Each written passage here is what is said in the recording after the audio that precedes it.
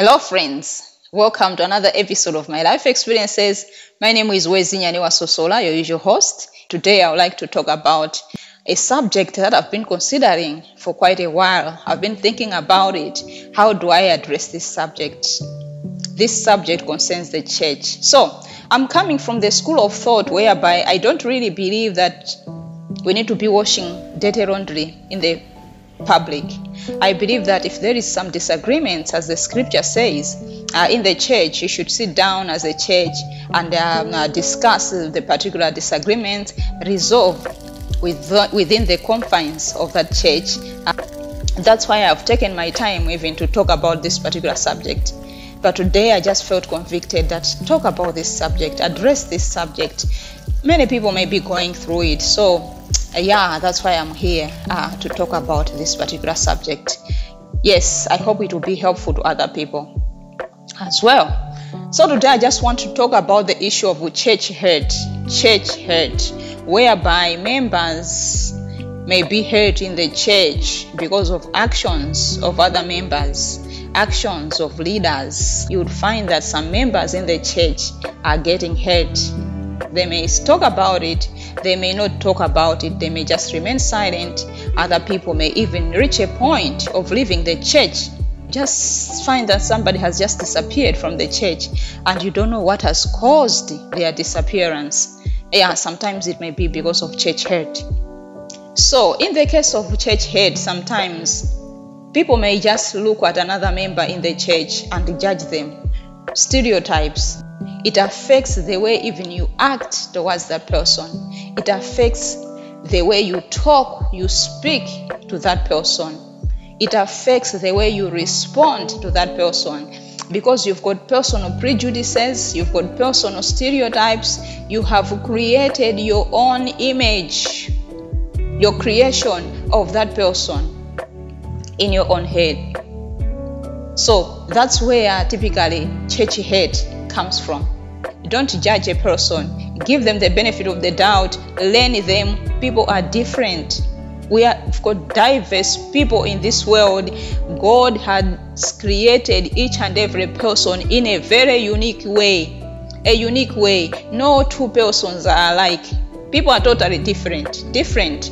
Other people are extroverts. Other others are introverts. Others talk a lot. Others don't talk a lot. Others like to associate much. Others don't like to associate much. So we need to come to that position of accepting people the way they are. That's even one thing that I'm trying to train myself that when I look at a person, I should pray that God teach me how best do I understand this particular individual, this particular person whom you love so much. How do I act towards them to help build them to the glory of God? Because it's not it should not always be about me, me, me how I feel, but it should more so be about God, giving glory to God, and also considering other people how they feel. I think that's what life should be about because people are valuable. Therefore, when you are looking at another person, don't make judgments. Value them. Value them.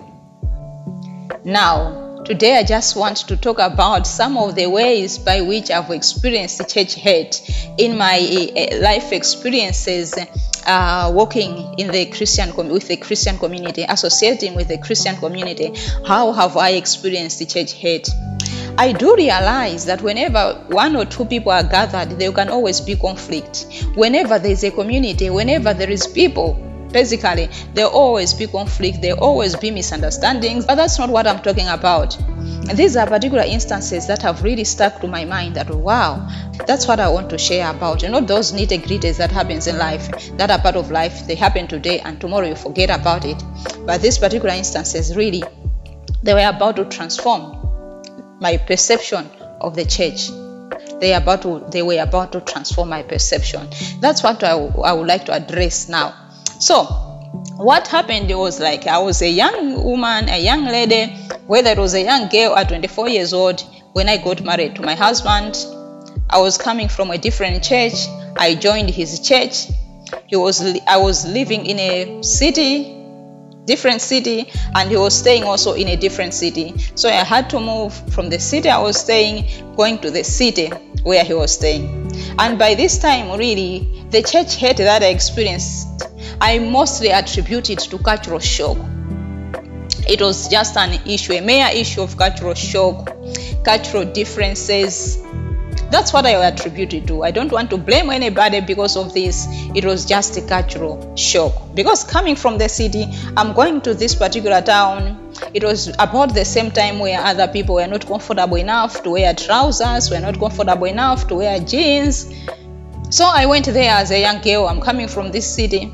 I would wear my, my dresses, which were slightly below the knee, slightly below the knee. I never wore anything that was above the knee. I always trained myself to wear something that was on the knee or slightly below the knee. So I could wear my skirts, my suit to the church, not knowing that people were noticing there in the church. How can dare she? How dare she wear like this? Sometimes I would wear a trouser at my home or in town. I would wear a trouser. I wasn't wearing a trousers at church, but I would wear it elsewhere, and I would meet people from the church there. But then this was causing some reaction from people from the church. How dare she wear a short skirt at church? And yet this skirt was just below the knee, but somehow that's why I'm saying it was an issue of cultural shock. So, because of this, they made judgments about me. Maybe that I wasn't holy enough to their expectation, that I wasn't a righteous woman, that I wasn't a godly woman. So, a lot of things were happening because of that. There is a time when I, I, could meet leaders in town. We are crossing paths. I would smile. I would recognize that this is my leader in church, my female leader, that is. Women leader because I've experienced most of this church hurt from women, my women colleagues.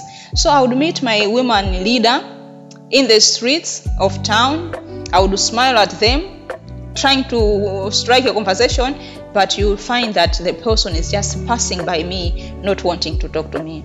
But it was just like somebody not wanting to associate with you when you meet um, elsewhere, maybe in town. They don't want you to be seen with them or whatever. Uh, and I realize that it's just because of the judgment.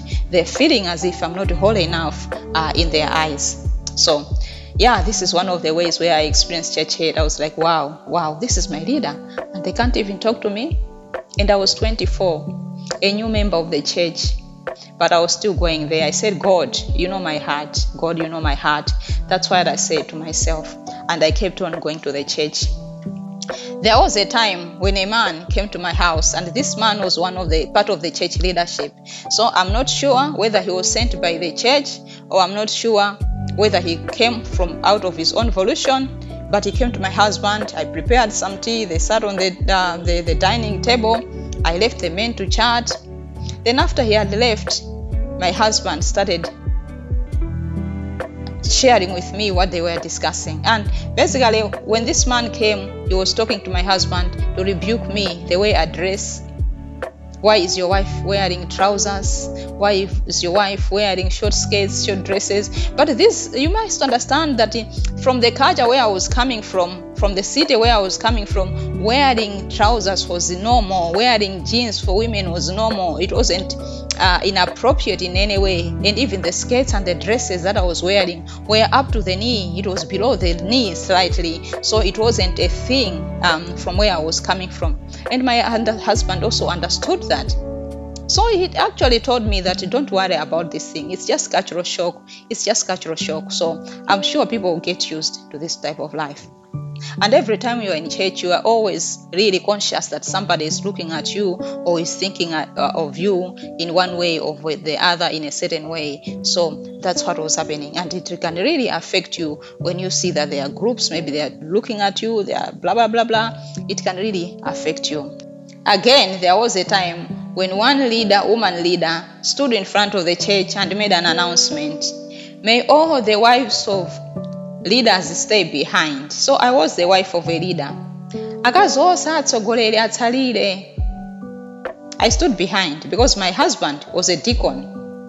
So i just wanted to hear what is it that they want to talk to us. I wanted to associate with the other women. I wanted to hear whatever they want to equip us with.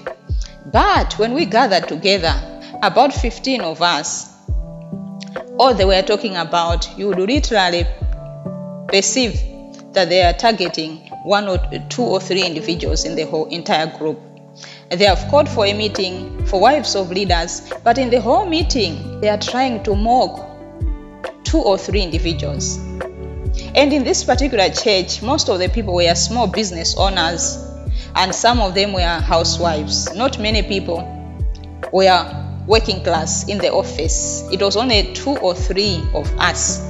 And they made the whole meeting about the three of us. Some of you, how you are dressing. Oh, you know, we've also worked before. Eh? You know, I've worked before. I used to carry a handbag. I used to go to the office. But this is not how the working class act. Eh? This is not how they're working. And you would literally see that the whole meeting is about two or three individuals. And I'm like, why not just call me aside or the two or three of us who are working class women, talk to us how you would like to see us acting instead of hiding behind the wives of leaders. Stay behind. We want to talk to you as if you're trying to address all the wives of leaders. But in fact, you're just targeting and bullying two or three individuals in the particular group. And everyone was just like looking at us.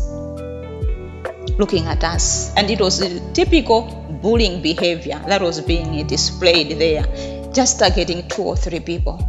I've also worked before, and uh, this is not a new concept for me. I know how to act at the office, so it's not like you have to wear short skirts or trousers. I mean, a lot of things. And I was like, this is not church like, this is not Christ like behavior. This is not Christ like behavior. And this particular behavior continued until the time when the church changed pastors. We, we decided as a family to go for a holiday elsewhere. And it was years after this pastor had left. And coincidentally, wherever it is that we went for a holiday, is where this old pastor had moved to. So while there, my husband made a, suggestion that let us go and visit our old pastor. Then I said, okay, fine, I don't have a problem. I'm fine with that. Let's go visit the, uh, our old pastor. We bought some gift. We went to the house. We started chatting. We started conversing. The conversation was going well. But while we were chatting, the Maibusa, the pastor's wife, made a comment, and that comment really shocked me. She said, I never thought your marriage would last. So she was talking as if it was something like a funny comment, like it was a lighter moment, like a joke or whatever, what have you. But I took it seriously. So, how, how can it even stick to come to her mind to think that this couple will not last? How would you really conceive those kinds of ideas, those kinds of thoughts for a young couple, a couple that have just gotten married, and you are thinking in your heart, ah, they will not last, they will not stay together. To the point that when we visited them, it started coming out. You know, out of the abundance of the heart, the mouth speaketh. And the mouth had started speaking whatever it is that she had been thinking the whole time. I never thought you would stay together up to now. I never thought your marriage would last. But it was one of those shocking moments that caused the church hurt. Now, what is my advice to somebody who may be facing church hurt in so many ways? One thing that I would like to say is that it's okay to set boundaries. So you can choose to set boundaries within certain individuals, not creating enmity, just setting boundaries to protect your faith you can choose to, to save in another kind of environment. This is how I want to save so that I should also protect the faith, I should protect the church, whatever. But if you are matured enough, you think that you can deflect all that, you think that you can stay right there, then it is that you stay right there as long as it does not affect your reaction now towards those people. You are not reacting in a certain way, you are not acting in a certain way, you are not speaking in a certain way, you are not being provoked in a certain way. If you can handle all that, in the context, then stay there, right there where you are. It's okay to do all that.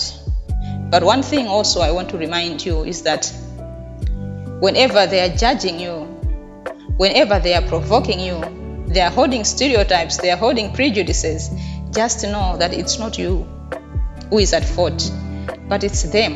it speaks more to their character than it does to you.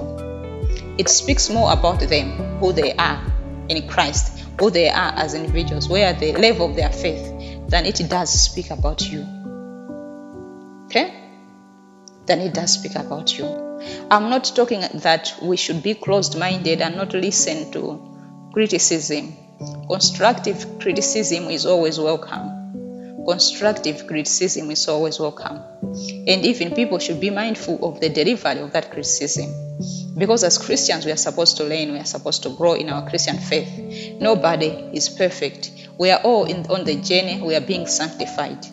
But there are some other times when it's just a judgment, pure judgment baseless judgment. It speaks more of their character and not yours. It speaks more of their character, not yours.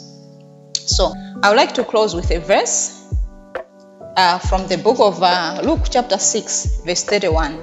This is the golden, uh, the golden rule. Do unto others as you would love them, do unto you. That's the golden rule. Whenever you are treating people, do unto others as you would have them, do unto you. Luke 6, verse 31. I hope this has built somebody. I hope this has encouraged somebody. I hope this has taught somebody. Please comment in the comment section below if you've been a victim maybe of bullying behavior from the church in the church context or you've been a perpetrator of such behavior you've learned just comment in the comment section below, or you disagree with my perception of the whole uh, church hurt subject. Comment in the comment section below. Let me know what you think about this particular subject. Do unto others as you would have them do unto you. Thank you so much, friends. Stay blessed.